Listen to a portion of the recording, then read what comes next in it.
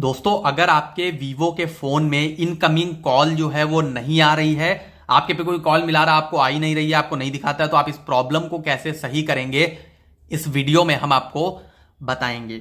सबसे पहले आपको क्या करना है, आपको अपने फ़ोन की सेटिंग्स में जाना है ओके सेटिंग्स में जाते ही इस टाइप का इंटरफेस मिलेगा। यहाँ पर आपको नीचे की ओर स्क्रॉल करना है और क्लिक करना है साउंड एंड वाइब्रेशन पे। और इस पे क्लिक करने के बाद आपको यहाँ पर देख लेना, आपके में डू नॉट डिस्टर्ब मोड तो नहीं ऑन है।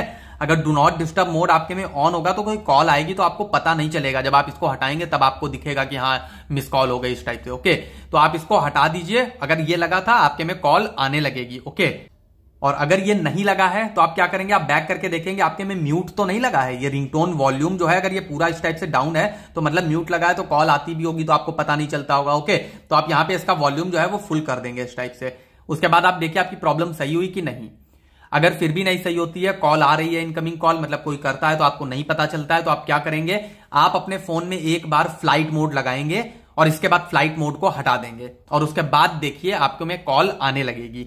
फिर भी नहीं आती है तो आप एक बार अपने फ़ोन को रीबूट कर लीजिए पावर बटन दबाइए रीस्टार्ट पे क्लिक करिए तो आपका फ़ोन रीस्टार्ट हो जाएगा और इससे आपकी प्रॉब्लम सही हो जाएगी। ओके फिर भी अगर नहीं सही होती है तो आप क्या करेंगे? आप एप्स पे क्लिक करेंगे, यहाँ पर सर्च करेंगे, यहाँ पे सी ऑल एप्स पे क्लिक करेंगे और सर्च कर लेंगे फ़ोन ये रहा फ़ोन इस पे क्लिक करेंगे, यहाँ पर क्लिक करेंगे स्टोरेज एंड कैसे पर और इसका जो है स्टोरेज जो है क्लियर स्टोरेज पे क्लिक करके डिलीट पे क्लिक कर देंगे और बैक करेंगे.